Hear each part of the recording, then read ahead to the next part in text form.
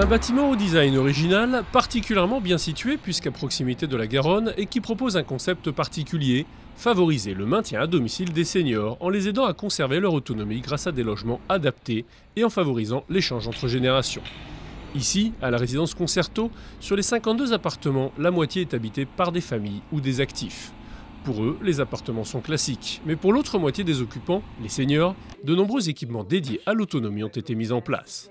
Pour les résidents, il paraît évident que ce type de bâtiment va se multiplier.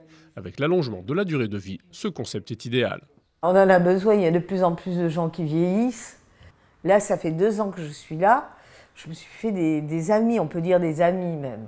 C'est la voie du futur, je pense bien, et hein. je pense y rester jusqu'à la fin de mes jours. Côté logement, l'organisation des pièces sécurise les déplacements. Les équipements facilitent la vie quotidienne. Il y a la toilette à l'italienne, il y a des poignées, il y a le faisceau lumineux qui va de la chambre à, la salle de bain. Douche à l'italienne, robinet anti-brûlure, sol antidérapant, barre de maintien, volet roulant électrique.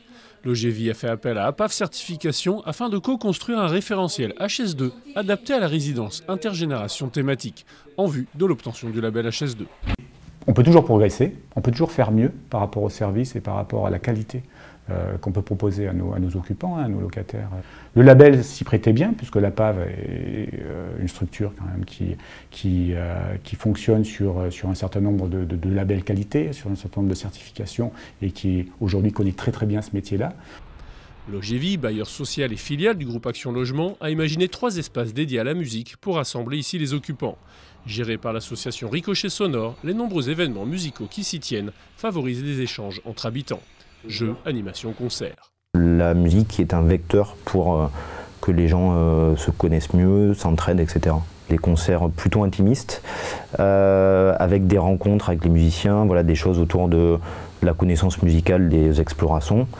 Et depuis quelques temps, on met en place des ateliers de pratique. L'idée étant que les gens passent du statut de spectateur à celui d'acteur en eux-mêmes jouant d'un instrument, chose qu'ils n'auraient pas forcément l'opportunité de faire ailleurs.